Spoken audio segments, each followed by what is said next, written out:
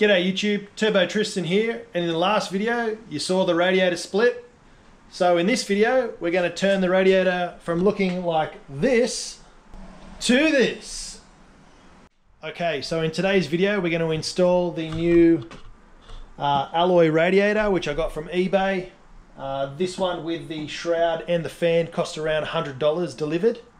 So the parts we're going to need is obviously that, some coolant, some bendy pliers to remove the hose clamps, a funnel so I can burp it, and I also went ahead and I purchased some new uh, eBay cheapo silicon radiator hoses.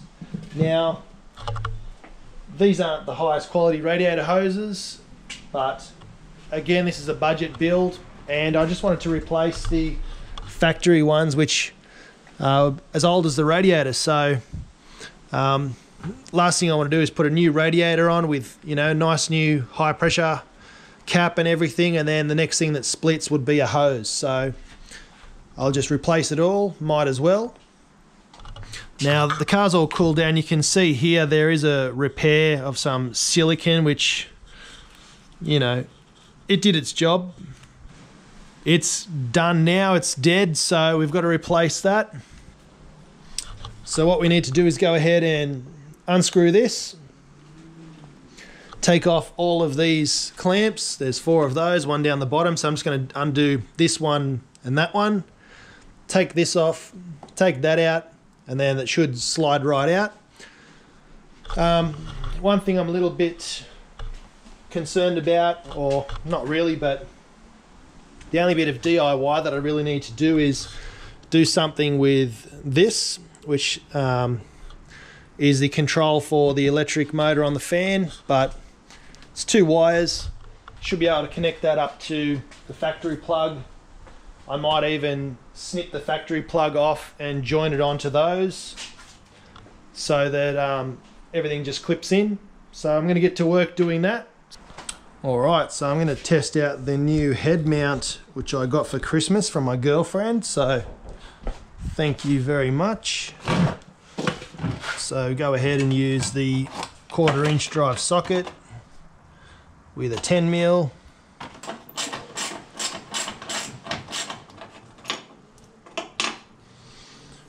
Pop that over there. Put this back in here so I don't lose it.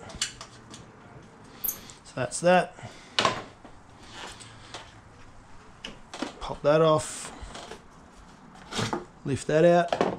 We'll be using that again later.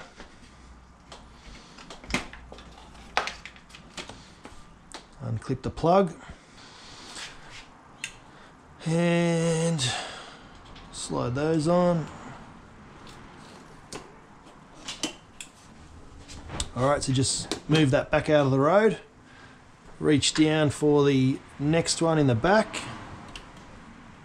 It's handy when you've got the right tools. So, so move that out of the road and hopefully these pipes come off without too much of a fight. A little bit of coolant there. And this one this one wants to be a bit of a pain. There we go. Alright, luckily there's no water in that, so it's not going to make much of a mess. Pop that off there.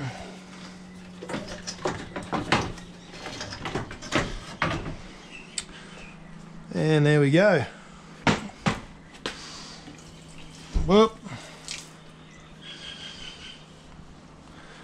Things couldn't go perfect, could they?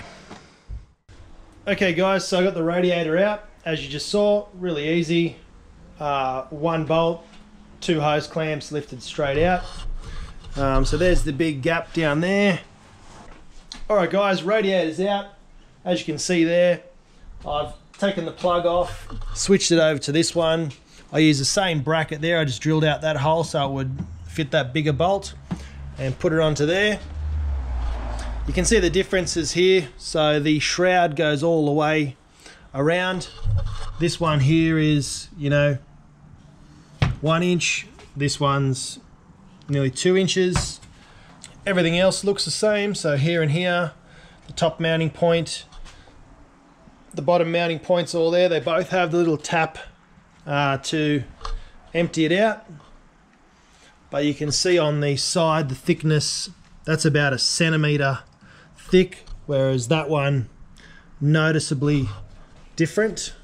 There you go, that's a much better example. So you can see the slimline fan and the huge core, whereas you got the skinny core and then the huge fan. So bit of a no-brainer really. So what I'm going to do before I put this into the car just to make things easy is I'm going to attach the radiator hoses and lower it in in one go rather than fight with hoses and bend them round while it's sitting in there. It's much tighter space. Plus I don't want to damage the core so I'm going to put the hoses on and then um, lower it in and fill it up. Here's the difference with the old hoses. So uh, a bit bubbled. Uh, that fitment's like not exactly the same shape, but I think we'll all agree that newer is better. This one looks a bit funny, but it was packaged up in a little ball, so it'll stretch out and go back to where it needs to go uh, and find its right path once it gets a bit of heat in there. Yamashita. It's a funny name for a hose company, but that's what it is. So we're going to chuck those. Sorry, Barkley. And we're going to put the new ones on. So bear with me. We'll go back to the head mount and I'll switch it all over. Oh, one other thing. When I went to take off the top hose, just by twisting that, it actually cracked that. So it was really brittle anyway. So it's a good thing I changed it. It was getting done anyway. I bought this weeks ago. Uh, wasn't planning to do it until I do a turbo conversion, but you know, 40 degree day and just my luck pop here's the old uh, bodgy patch job there as you can see did what it needed to do. Time for an upgrade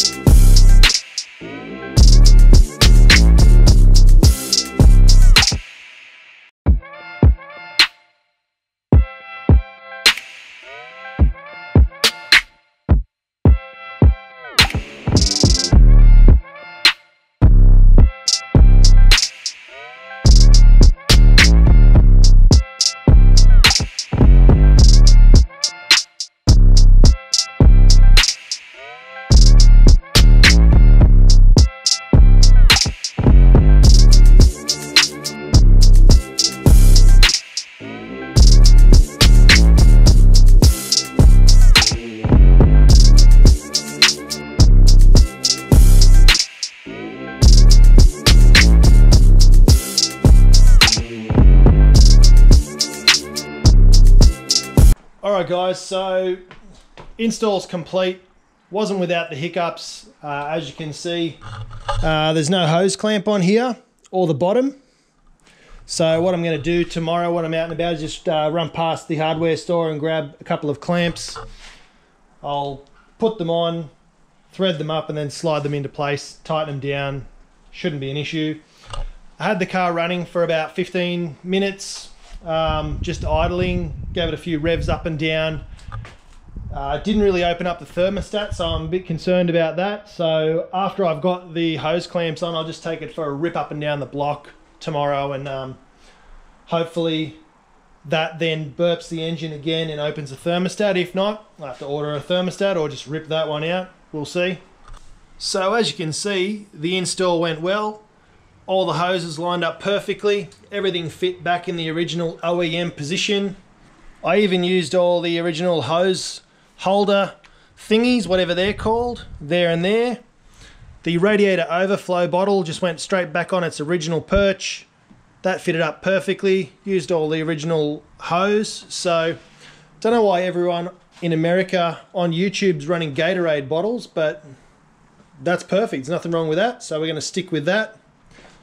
From the front, uh, looks much better. You can see it through the bar, nice and silver or alloy and way thicker than the old junk one. So success. So first performance mod done.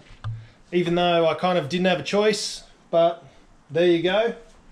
Um, here it's a bit easier to see with the fan shroud off, but that's the that's the old scummy one. Looks like it's probably been chemi welded up a couple of times. Oh no, it's nice and nice and clean through the tubes. But yeah, throw that in the bin. I'll keep this fan just because you never know. Might need it for something, but I'll keep that. Um, and yeah, job done. Thanks for watching, guys. Remember to hit the like button and subscribe button and share this with your friends online. It would really mean a lot to me. Thanks heaps. See you next vid. Damn, that looks cool. This even looks pretty fast now. Thanks for watching guys, that brings us to the end of another video, so make sure that you smash the like button, click subscribe, click the bell, make sure you get notifications turned on so you don't miss a thing. It would really mean a lot to me and help the channel grow, so please do that for me. Um, there'll be a circle popping up here or here, and that's so you can subscribe, make things easier, and there'll also be a video link for another video that you might have missed. So make sure you check out all our videos, hit like, hit subscribe. Thanks very much for your support. Thanks guys.